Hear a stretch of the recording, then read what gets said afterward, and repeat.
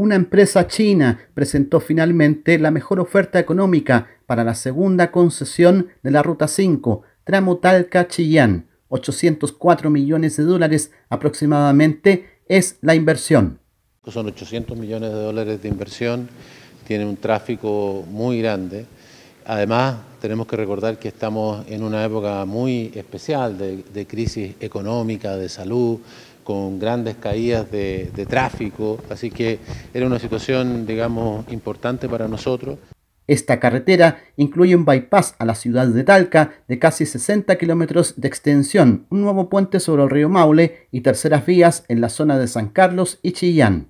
Recordar que se cambiaron los modelos de, negocio, teníamos modelos a plazo fijo, los cambiamos a un modelo en el cual digamos, hay un, un, valor a recuperar, que es el que las empresas por el cual postulan. Creo que eso ha sido muy acertado y lo demuestra que hayamos tenido tres ofertas de tres empresas muy relevantes que han estado hoy día y que además los valores que ellos hayan ofertado hayan sido muy convenientes.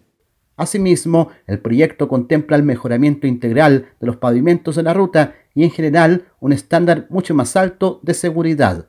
Lo que estamos haciendo como Ministerio de Obras Públicas es ya tomar contacto con emprendedores locales, con organizaciones y en este caso con empresarios para que el consorcio chino instale su faena y sus oficinas principales en Linares, ya que Linares es la mitad del tramo entre Río Claro y Parral, por lo tanto existe una posibilidad importante de generar un polo de desarrollo a propósito de esta nueva licitación millonaria, lo que va a generar entonces muchos beneficios para Maule Sur en este caso y para el Linares. El proyecto contará además con un modelo de plazo variable y con un máximo de 32 años.